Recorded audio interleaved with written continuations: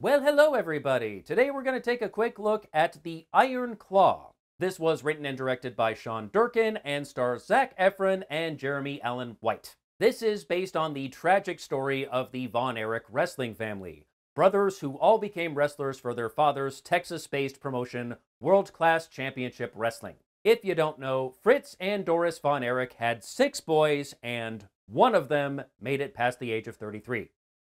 Needless to say, this is not a feel good movie. The Von Erichs are an important family in wrestling history for many reasons, good and bad. This goes back to a time when pro wrestling was more of a regional business, although Vince McMahon around this time was starting to take WWF national and one by one wiping out all of the regional territories. The Von Erichs were the kings of wrestling in Texas.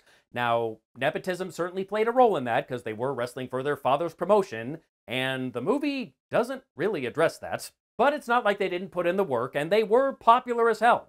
And they probably have the most tragic story of any wrestling family, even more than the Harts, and that is saying something.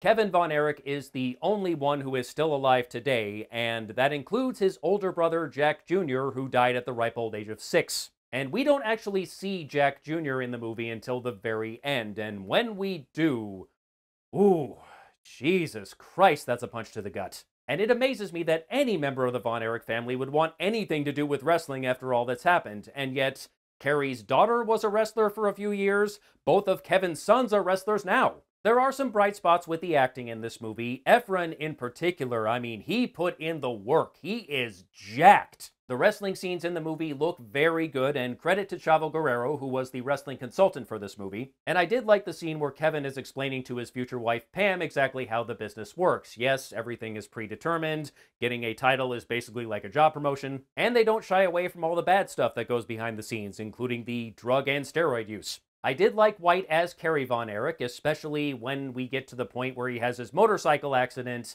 and has to have part of his leg amputated the pain that he is in, physical and emotional, is just all over his face, and it's a really strong performance. And I'm still amazed that Kerry actually got back in the ring after all of that. With a prosthetic, of course. And I was a little surprised that the movie doesn't really show how Kerry kept his amputation hidden from most people. Except for his family and a couple of close friends, most people, until the day he died, had no idea he was an amputee because he went to great lengths to hide it, even to the point of showering with his boots on. I also want to draw attention to Kevin Anton, who played Harley Race in this movie, and he was dead on. That was a perfect performance. On the other hand, we have the guy who played Ric Flair, and he was, how can I put this politely, the drizzling shits. He didn't act like Ric Flair, he didn't sound like Ric Flair, even his woo sounded wrong. I mean, how do you screw that up? The wig was really the only thing that clued me into the fact that this was supposed to be Flair. Speaking of wigs, Maxwell Jacob Friedman has a brief appearance in this movie, and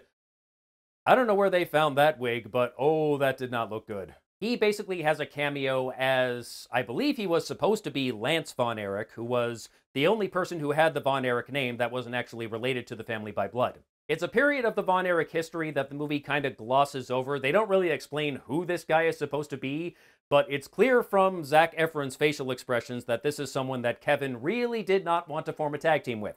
I personally thought the story in this movie got off to a very slow start, and as much as I hate to say it, it doesn't really get interesting until the Von Erich start dying. Everything leading up to the death of David Von Erich was so slow and didn't really give me a reason to care about any of these people, and I'm a wrestling fan. I wasn't really invested until the second half of the movie, which unfortunately is when everything goes to shit. There were a few historical inaccuracies that I noticed in the movie. Of course, the biggest one is the removal of the youngest Von Erich brother, Chris. In this movie, he does not exist. This movie's version of Mike Von Erich is basically a combination of Mike and Chris. Durkin has acknowledged the removal of Chris from the story and explained one more tragedy probably would have been too much, and he has a point. The movie would also lead you to believe that Kevin was the only one who got married, which was not the case. Kerry was married and had children. I think David was married a couple of times. It was just a little weird that Kevin's marriage was the only one the movie chose to acknowledge. And they only showed Kevin's sons in the movie, even though I believe he has a couple of daughters and they might have been born first. But I do understand why they focused on the sons because of the message this movie was trying to send, and it's a good message. And I did find the portrayal of Fritz and Doris von Erich to be a little odd, which is no fault of the actors. Holt McCallany and Maura Tierney are both great. But there's a line in the movie, and it's also in the trailer Mom tried to protect us with God, Dad tried to protect us with wrestling. I did not get the impression from watching the movie that either of those things were true. Mom didn't do shit to protect the boys, and there is very little mention of God at all, apart from like one scene where we see the family attending church. And Fritz wasn't doing shit to protect them either. He was just trying to live vicariously through his sons and hopefully get them the NWA world title that he never had. If the movie has a villain, it's definitely him.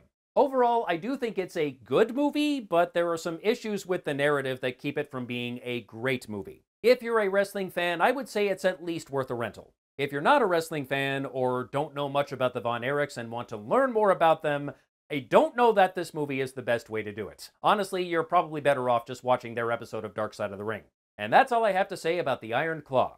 Till next time, take care.